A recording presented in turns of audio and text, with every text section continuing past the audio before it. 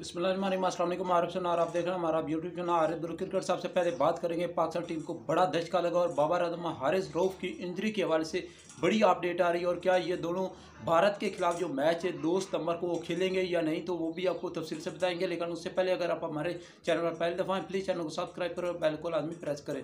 सबसे पहले बात करते हैं कि बाबर आज़म और हारिस रऊफ की इंजरी के हवाले से बड़ी अपडेट आ रही है। जैसा कि पाकिस्तान नेपाल के दरमियान एशिया कप का पहला मैच कल खेला गया जिसमें पाकिस्तान ने नेपाल को बहुत बड़े मार्जन से शिकस्त दी और पाकिस्तान ने ये 238 रन से ये नेपाल को शिकस्त दी और बात करें तो पाकिस्तान ने पहले बैटिंग करते हुए तीन सौ बयालीस रन आए थे जिसमें बाबर आज़म ने बड़ी शानदार बैटिंग की एक सौ इक्यावन रन स्कोर किए एक सौ इकतीस बालों पर और, और इस तरह बाबर आज़म ने अपने कैरियर में 150 स्कोर जो है वो दूसरी दफ़ा किया है। तो इस तरह बाबर आज़म जो है वो हमें फील्डिंग में दिखाई नहीं दिए थे।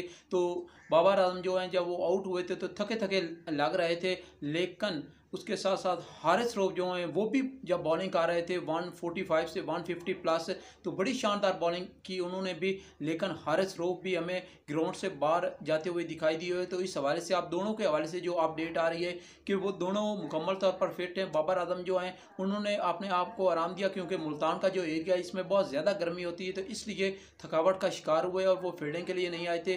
तो हारिस रोफ के हवाले से भी यही अपडेट आ रही है कि वो मुकम्मल तौर पर फिट हैं और इन ताला दो सितंबर को जो मैच है पाकिस्तान का और भारत के दरमियान, उसमें हमें दोनों दिखाई देंगे। तो दुआ भी करते हैं कि पाकिस्तान की के जो ये बड़े स्टार हैं, वो वर्ल्ड कप और एशिया कप में मुकम्मल तौर पर फिट रहें और अपनी फिटनेस पर उन्हें काम भी करना चाहिए। तो दोनों जो हैं, बाबर आज़म और हारिस रूफ वो दो सितंबर को भारत के खिलाफ जो मैच है, बहुत बड़ा मैच है तो उसमें हमें दोनों एक्शन में दिखाई देंगे। तो ये थी ताज़ा अपडेट अगर आपको वीडियो चल गई प्लीज़ चैनल को सब्सक्राइब करें, वीडियो को लाइक कर दें। Thank you